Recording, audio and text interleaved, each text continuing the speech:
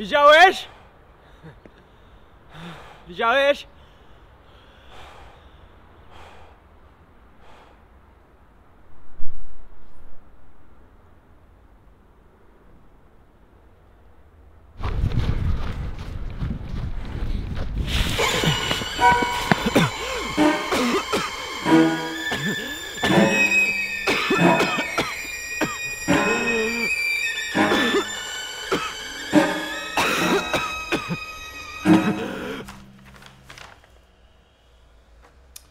Pana syn musi przestać trenować. Z każdą kolejną wizytą wyniki badań są coraz gorsze. Organizm tego już nie wytrzymuje. To jest ostatni moment, żeby to przerwać. Potem będzie już za późno.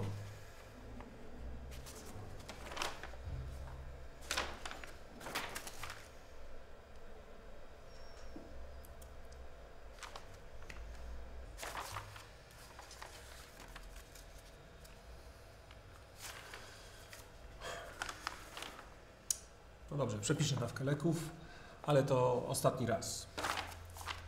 Nie chcę mieć tego chłopaka na sumieniu.